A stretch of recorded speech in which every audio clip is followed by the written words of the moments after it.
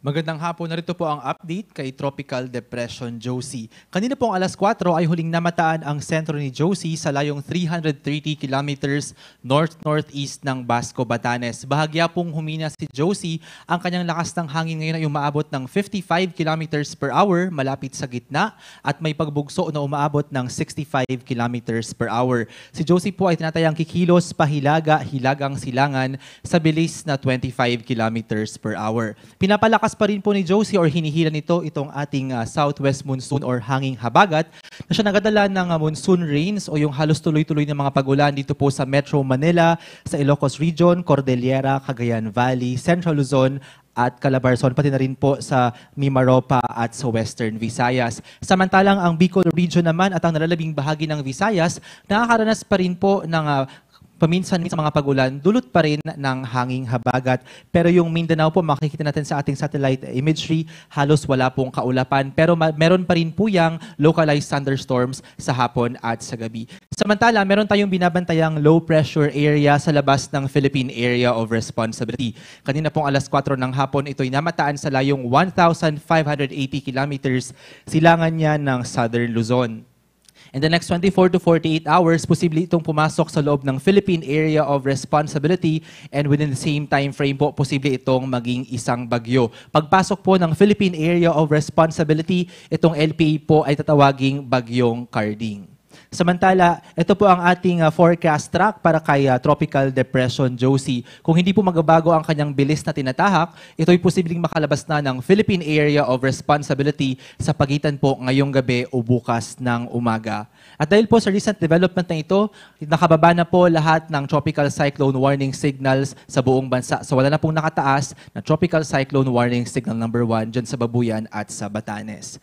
Samantala, uh, dahil pa rin sa malakas na paghila ni uh, Josie sa ating uh, hanging habagat, meron pa rin tayong nakataas na gale warning sa mga baybayin po ng Batanes at Babuyan Group of Islands. Hindi pa rin po pinapayagang pumalaot ang ating mga kababayang mangingisda at yung may mga maliliit na mga sasakyang pandagat sapagkat ang karagatan po dito sa Luzon Strait ay magiging maalon hanggang sa napakaalon. Ano po bang inaasahang panahon tulad ng nabanggit kanina dahil pinapalakas pa rin ni Josie itong ating hanging habagat, makakaranas pa rin po ng kalat-kalat hanggang sa malawakang monsoon rains ang Metro Manila, Ilocos Region, Cordillera, Central Luzon, Calabarzon, Mimaropa at Western Visayas. Cagayan Valley po ito.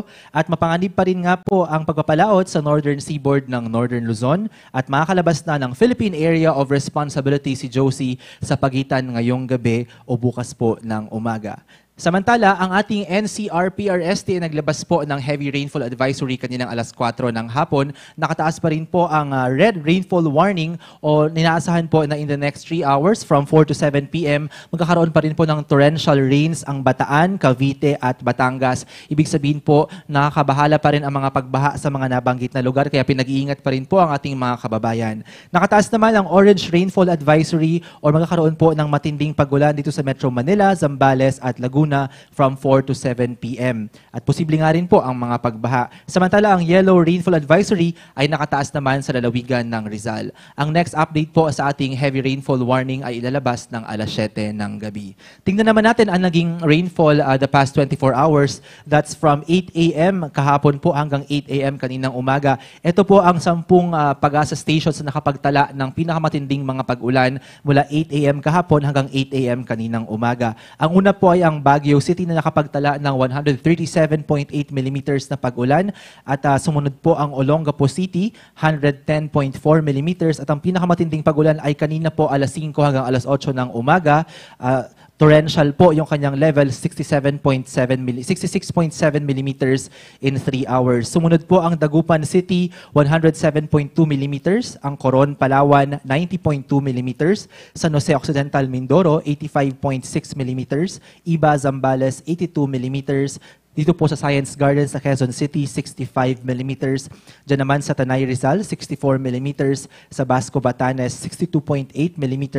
At sa Sangli Point sa Cavite, 59.2. Mapapansin po natin, halos uh, yung nakatanggap po ng uh, may kalakasan ng mga pagulan ay nandito po sa western section ng Luzon.